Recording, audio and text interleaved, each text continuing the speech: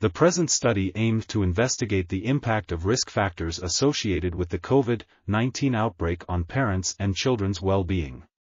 Parents of children aged between 2 and 14 years old completed an online survey reporting their home environment conditions, any relation they had to the pandemic consequences, their difficulties experienced due to the quarantine, their perception of individual and parent-child dyadic stress, and their children's emotional and behavioral problems.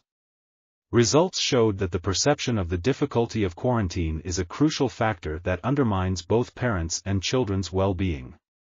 Quarantine's impact on children's behavioral and emotional problems is mediated by parents' individual and dyadic stress, with a stronger effect from the latter. Policies should take into consideration the implications of the lockdown for families' mental health, and supportive interventions for the immediate and future should be promoted.